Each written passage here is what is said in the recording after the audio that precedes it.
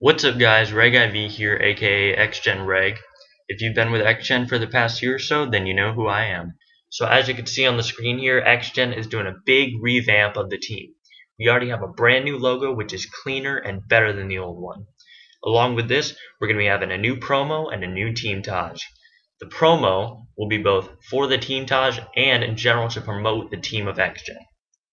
So also, we're going to be increasing player activity. Over the past few months, we haven't been as active and as consistent as we should be. So to start that off, we'll be having a recruitment challenge over the next week or so. So definitely look out for that video. In the near future, we'll also be having a new intro to match the logo.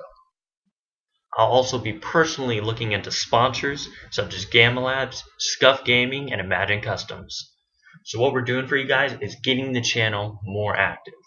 I'm working with the two new leaders to make XGen a better team.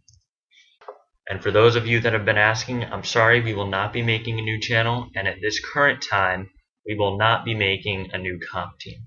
The reason why we won't be making a new comp team, even though, yes, in the past, XGen has been a comp team, and that's where I got most of its subscribers from, look how inactive comp is right now. It's at an all-time low. If by some miracle comp becomes more active and teams become loyal again, then yes, we will consider making a new comp team. At the current time, we're focusing on being a better team and getting the channel more active.